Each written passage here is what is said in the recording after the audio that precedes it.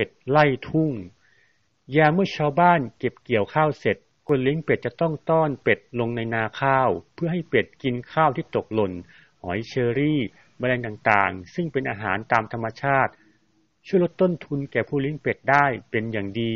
ขณะที่ชาวนาเองก็ได้กำจัดแมลงศัตรูในนาข้าวด้วย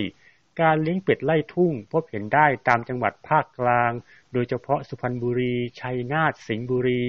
ซึ่งในที่นาแปลงใหญ่หนึ่งๆจะใช้เวลาเลี้ยง 3-5 วันให้เป็ดได้หากินอาหารเอง พร้อมทำคอกไว้ขังเป็ดในช่วงกลางคืน ตอนเช้าๆ คนเลี้ยงเป็ดจะนำไข่เป็ดส่วนหนึ่ง มอบให้เจ้าของนา ขอบคุณที่ให้ใช้เลี้ยงเป็ด